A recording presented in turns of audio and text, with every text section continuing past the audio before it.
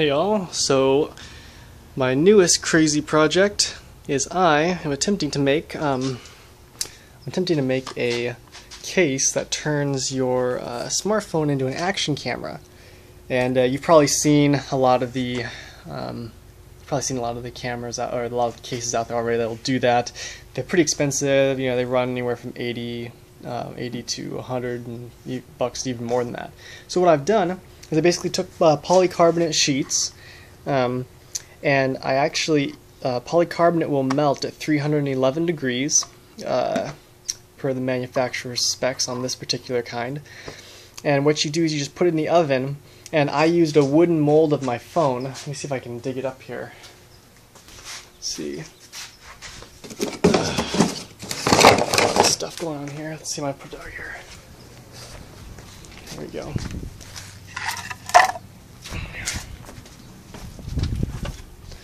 My camera to adjust. So here's a wooden mold I made of my phone. It's the exact spec and it's the exact uh, width of it. It's not an iPhone, I'm actually filming on a, an S2, which is the same thing I've designed this for. So it's very close. And then what you do is um, you take this piece and you put it there. You put your polycarbonate sheet on top of it. So let's say that this piece is too big, I'll put so here's your polycarbonate. You take the you want to take the plastic off both sides first, obviously. So it's just the plain polycarbonate, no protective sheeting. You stick it on top, and then this is designed just a little bit bigger than the mold underneath of it. And you set this on top of here, like that, with weights on it. And what it'll do is it'll bend, and it's designed so that as the plastic melts, it won't cut the plastic off, because you can see there's enough space all the way around that um, it'll allow it to bend and form uh, a nice a nice mold. So then so then you get something like this, which I've polished up quite a bit, and you can see there's bubbles in it, and the reason is because it got too hot, because I wasn't patient, and I melted it in about 40 minutes instead of the normal like three hours. So um, that's fine, it's gonna be painted anyway.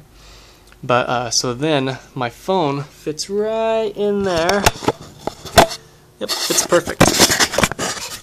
So it's pretty good actually. Here I'll uh, I'll do the let's see. Actually, I won't be able to do it on this video, but I'll show you guys a video of it.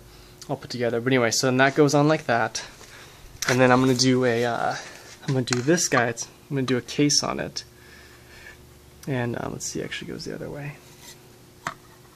There we go. So then this will be a case, and what I'll do is um, so I can get to focus. These S2s aren't very good with focus. There we go. On this side, I'll actually do a bolt that goes through it and it's tightened permanently. I'll use thread lock, you know, to make it so it's all tight. And on this side, there'll be a notch cut out of this one, and then a stud inserted in the back, which I'll uh, I'll actually end up melting it into the polycarbonate. And then this will just slide open. It'll come all open. You can slip your phone in, and then it'll slide closed. And then there'll be just some padding. I'll probably use some weather stripping from Home Depot to make it so the phone is padded while it's in there and then I'll cut out a centerpiece here.